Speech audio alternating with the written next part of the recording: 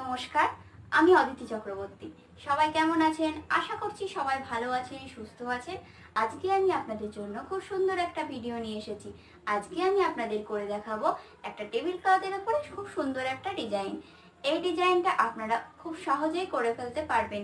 এই ডিজাইনটা এমনই একটা ডিজাইন যারা নতুন শিখছেন, তাদের জন্য এই ডিজাইনটা খুবই সহজ সুন্দর হবে।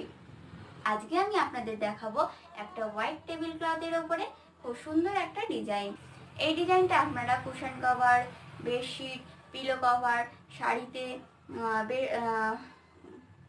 কুর্তিতে করতে পারেন, খুব সুন্দর লাগবে।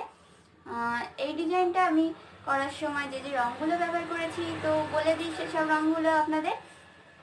এই ডিজাইনটা করার সময় আমি ফেব্রিক কালারটাই ব্যবহার করেছি অ্যাক্রিলিক কালার ব্যবহার করিনি। ফেব্রিক কালারের মধ্যে আমি ব্যবহার করেছি ডিপ নীল কালারটা গোল্ডেন ইয়েলো কালারটা তো চলুন এবার সম্পূর্ণ ভিডিওটা দেখতে থাকুন। আমি আপনাদের সাথে ভিডিওর মধ্যে কথা বলছি। ধন্যবাদ।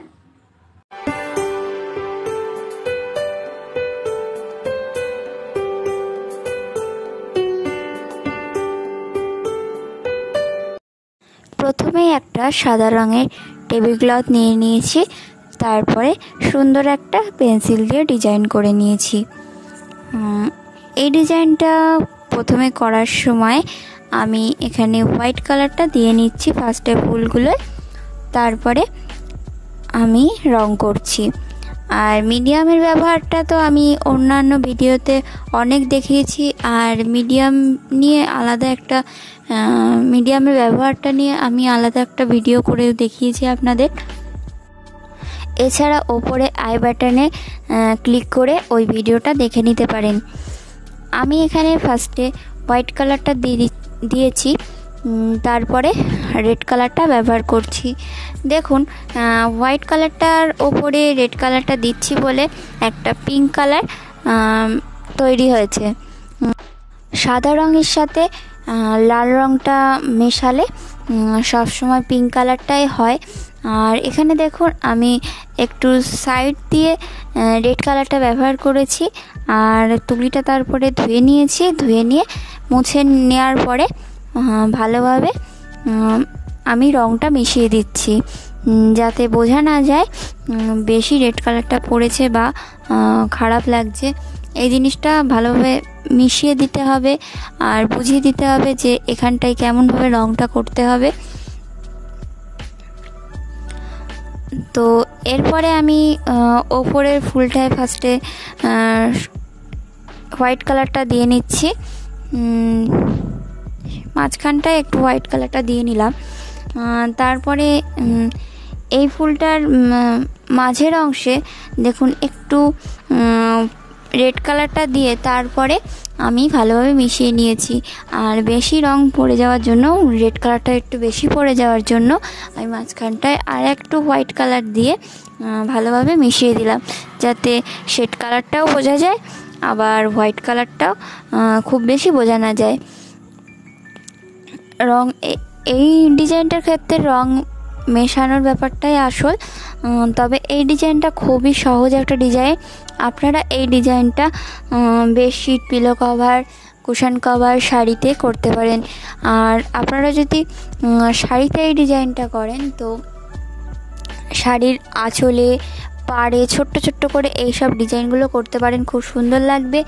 আর যদি কুশান কভারে করেন, তাহলে কুশান কভারের মাঝখানের অংশে এই ডিজাইনগুলো করতে পারেন।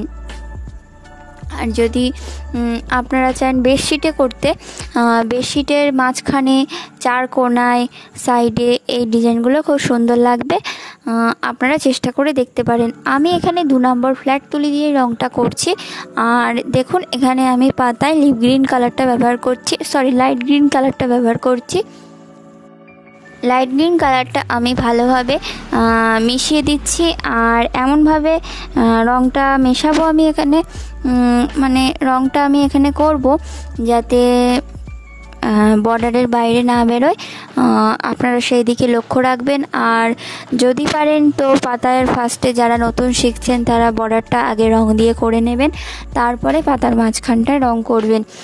না হলে রং বেরিয়ে গেলে কাপড়ে খুব খারাপ লাগবে, দেখতে বাজে লাগবে। তো এইসব ডিজাইনগুলো খুবই সহজ। আপনারা অতি সহজে চেষ্টা করে দেখতে পারেন। খুব ভালো লাগবে। আর যারা নতুন শিখছেন, তাদের জন্য তো এই ডিজাইনটা খুবই সহজ। যারা নতুন শিখছেন, তাদের, তাদেরকে বলব, দু নম্বর ফ্ল্যাট তুলি বা দু নম্বর সরি চার নম্বর রাউন্ড তুলি দিয়ে এই ডিজাইনটা করতে পারো। খুব সুন্দর লাগবে। আর সরু তুলি দিয়ে করার, সবচেয়ে করাই ভালো। কারণ ফার্স্টে বড় যে তুলিগুলো মানে চার নম্বর, ছ নম্বর, আট নম্বর, এসব তুলি ব্যবহার করলে রঙটা অতটা ভালো হবে না। যারা প্রথম শিখছেন রঙের বিষয়ে সেরকম একটা জানেন না। আর যদি আপনারা ফ্ল্যাট ফ্ল্যাট তুলি ব্যবহার করেন তাহলে দু নম্বর ফ্ল্যাট তুলি আর চার নম্বর ফ্ল্যাট তুলির বেশি, তুলি বেশি বড় তুলি ব্যবহার করবেন না। সেক্ষেত্রে তুলিটা বেশি মোটা আপনাদের এই রং করতে অসুবিধা হবে। আর রং করতে পারবেন না। আর সবসময় খেয়াল রাখতে হয় যে কোন রঙের সাথে কোন রঙটা মিলছে, কোন রং করলে ভালো লাগবে সেই দিকে লক্ষ্য রাখতে হবে। না হলে কিন্তু যে কোনো রং করে দিলেই বাজে লাগবে। তো আজকে আর বেশি কথা বাড়াবো না। সবাইকে একটা কথাই বলব, সবাই ভালো থাকবেন, সুস্থ থাকবেন। আর এই ভিডিওটা বেশি বেশি করে শেয়ার করবেন। ভালো লাগলে ভিডিওটা লাইক করে দেবেন।